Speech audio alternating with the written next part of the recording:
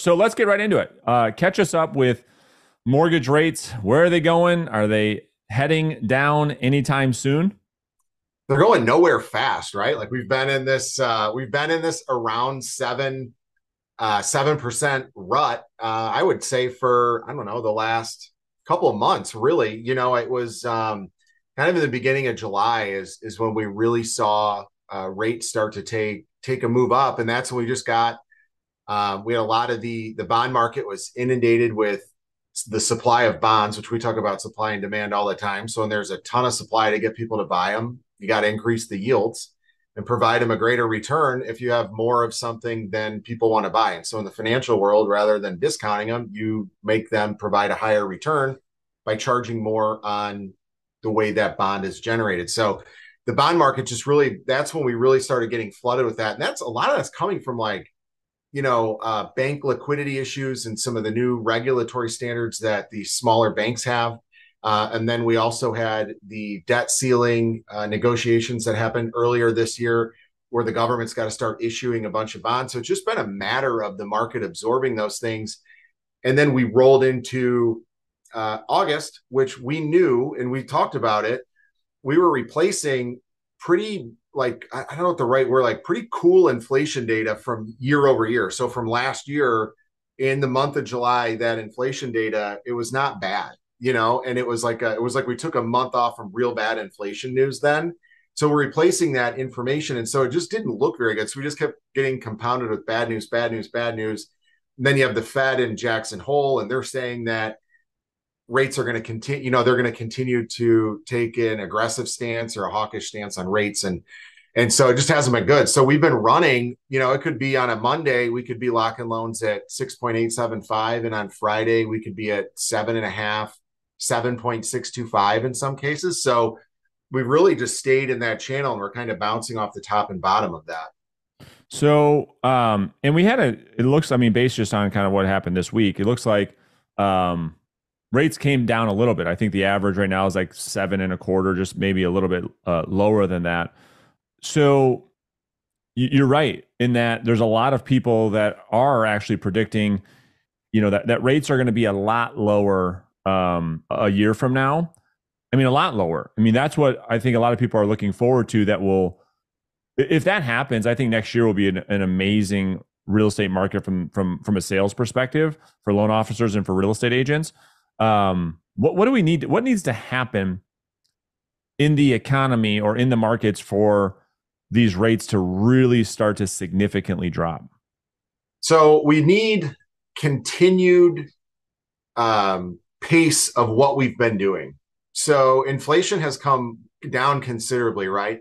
And you know, I can, and, and, you know, I'm a I'm a fitness guy, right? And and you can, and I treat you know the inflation battle as the same thing as losing weight if you're 300 pounds and you start a diet and your goal is to get to 200 pounds, that first 70 pounds is real easy. Like that's some like yeah. easy changing of the habits and doing that, and you're feeling good, and your lifestyle hasn't changed that much. But in order to lose that next 30 pounds, you're going to feel some pain. Like that's where you're going to go through the phases of, I really want some butter on my toast, but I can't and I would really like to put real syrup on my pancakes instead of fake sugar free syrup and all those other things that I experienced just this morning. And so we're getting to that point now with inflation where we're down, you know, the core CPI is very low and, and it's and it's continuing to get closer to that 2% target, but it's these last 2% that are going to be really difficult. So we're we're making progress there and we're going to get better numbers. The uh, lodging cost, housing, shelter, those numbers are starting to get better, especially if you if you didn't use the average of shelter cost and you actually use what shelter cost is today, the core CPI would be right around two percent. Uh, but you're using this this rolling average of it, so you've got that right. So you've got to keep the same path that we've been on with bringing inflation down because that is working. And the other thing, and we saw our first glimpse of this last week, is there were three reports that came out. So it's unemployment claims, uh, or jobless claims that came out Wednesday. Uh, those actually came in to be a little bit more than we had planned on. Uh, the JOLTS report, which is jobs over labor and turnover, I forget what it stands for. It's JOLT, but it's basically job openings. That went from 12 million job openings to 9 million job mm. openings. And then we saw our BLS uh, labor, uh, the um, employment report, which is the big jobs number and measure of the labor market that the Fed looks at. That number came in uh, slightly, came in right around expectations. Uh, the unemployment rate went up. It was supposed to stay unchanged at 3.5. It went up to 3.8, and um, we start we're starting to see the the growth of wages go down or that pace moderate, which is another good thing. And on top of that, um, oh, I lost my train of thought. That's right. Well, I had you- something in there that I kept meaning to get back to, but uh, nonetheless, it's it's starting to see that labor market soften. Oh, then and then uh, they talked about the revision. So from the last two months, they're continuing to re to revise for the worse month after month after month. So we're starting bigger revisions, like fifty thousand jobs a month that were over reported. Yeah. And so as long as we stay on this path, this is what the Fed is really looking for. They're not going to say it yet. Nobody wants to be first, but we're getting there. Yeah, well, I think um, you you nailed it. It's the labor market that took so long to reflect the, the changes that you just um, outlined, and you, in my opinion, I mean that that is exactly what we needed to see for it to actually have an impact in in in reflect itself in mortgage rates. Yeah. And because that was the thing that was so stubborn. I think everything else was in line, you know, all, all the CPI numbers that were coming in, everything else that we're looking at uh, would suggest that mortgage rates should reflect a downward trajectory. But the thing that was keeping us stuck was the the labor market. And so now yeah. finally, and we've been saying this for months, you know, the labor market is a is the kind of the last um, indicator before lagging indicator. That, yeah, that's a huge lagging indicator, and we're starting to finally see these labor market reports come in uh, and, and, reflect the reality of, of what's happening. And so now, with that, it's my belief that because I was curious what you thought, but my belief is now that the labor market is responding this way, I think you'll see the bond market uh, respond, and I think mortgage rates will start to trickle down here uh, as we get into the last quarter of 2023. That's that's my take on it.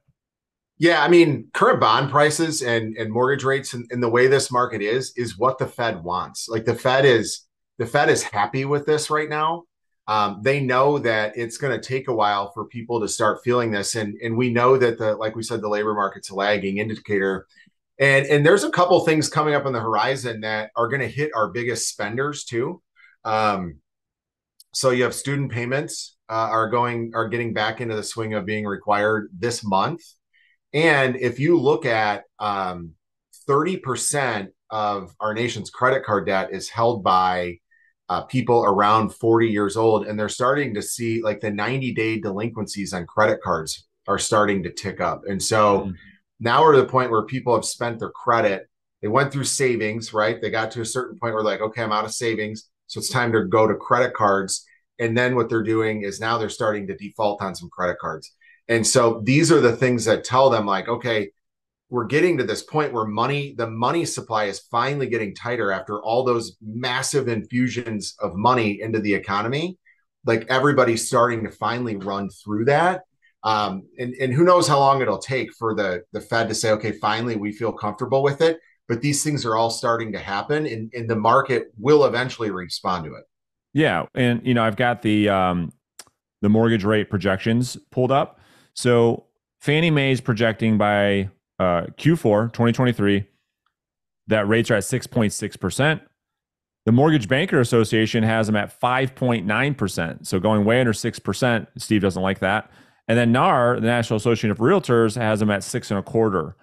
Uh, and so MB, the MBA and NAR are, I think, the most aggressive with their their forecast. But nonetheless, the average of all three, six and a quarter by, by the, the, end, of, of this year. year. Yeah. I and mean, again, I, I know you sitting in your seat as the mortgage guy, like, man, I'm looking at these rates every day. They're not moving. I just, it's my belief that, again, going back to the labor market, this is, you know, I go back to my mortgage days, right? And it was always the labor market. You know this better than me. I mean, this is your world every day we were so excited for these unemployment reports to come out because they had the biggest impact on mortgage rates. And yeah. I, I think that you're going to start to see, because that's my question. My question is, what are, so you just outlined a minute ago all the jobs reports and the labor reports that come out. What are the ones that are coming out here in the next couple of weeks or a couple of months? uh, that may impact this because it's my belief is as those things seemingly get worse, I think we're going to see rates drop quickly, maybe as fast as they as they rose to get us six and a quarter, six and a half by the end of the year. What's your take on that? I would love that. I know you love that, family.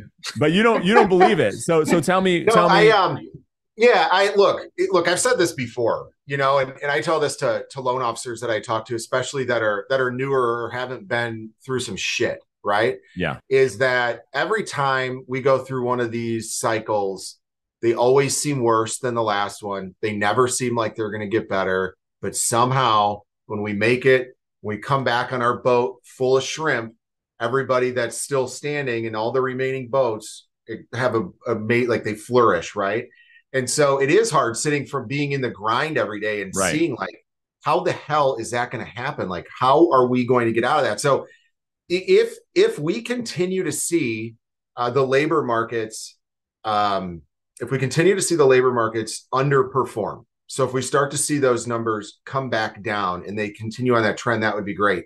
I think a lot of what investors are looking at, what the Fed is thinking about, is we have we have a couple things going on right now with fairly large groups of labor right now that are not working. So you have the strike in Hollywood, which is like a, a gigantic union of actors and writers and all those people that are not currently working. Uh, we lost a, a mid-size trucking company, which is also a leading indicator of recessionary um, trends.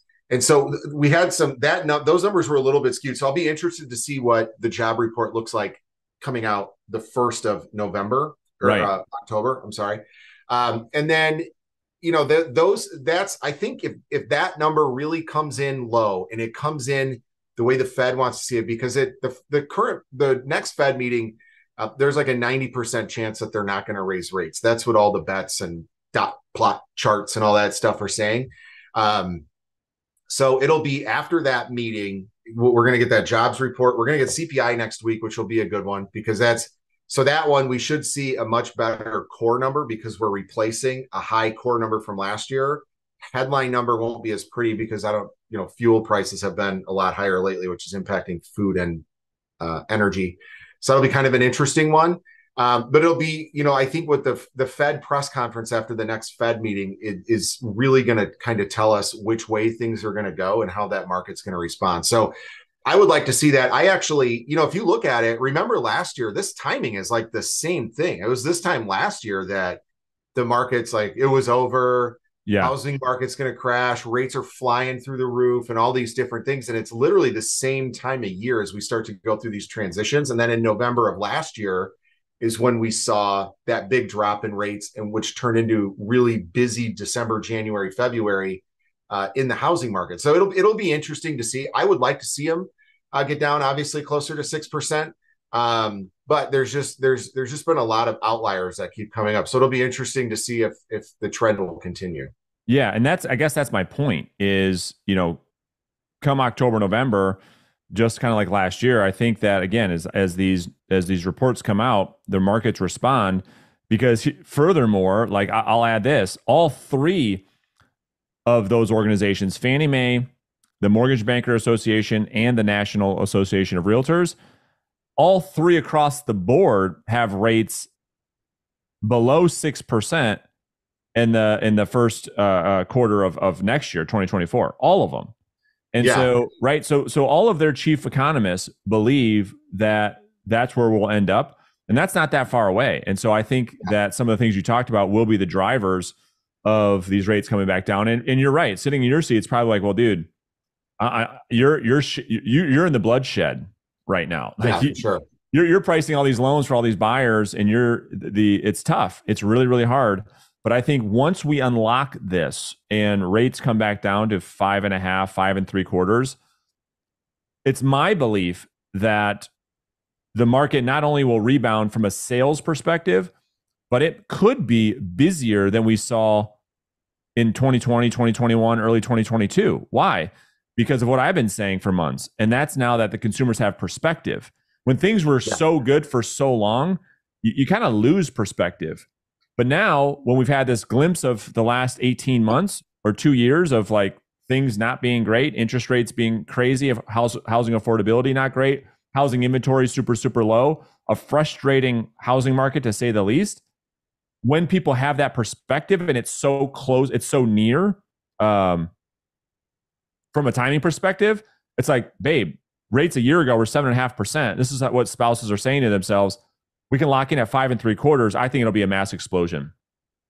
Yeah, it would be that. I, I do think that'd be the result if if rates do get there. And you know, it's interesting. You know, you if, if we say, you know, if we quote those economists, you know, people say like, of course they're going to say that. Like they're interested in, you know, the housing market doing better. Um, and you know, my my argument to that is always like, oh, you think the economist, the National Association right. of Realtors, is like, ooh, I really hope rates go lower. Like that guy does not care. Like they're That's just right. simply forecasting what and look, all economics are based on theories and what's happened in the past, and and so there is there is that part of it. So it's hard to to make like a real set call, but these are very very smart people that get paid a lot of money to analyze these things. So I do believe that you know, and in you know, for a buyer right now in this market, you know, if we think about what happened at this time last year, and for any agent or, or anybody that's buying a house right now that's watching that this is I am starting to see a lot more concessions I have like three or four deals within the last two weeks that are contingent FHA purchases. Like they are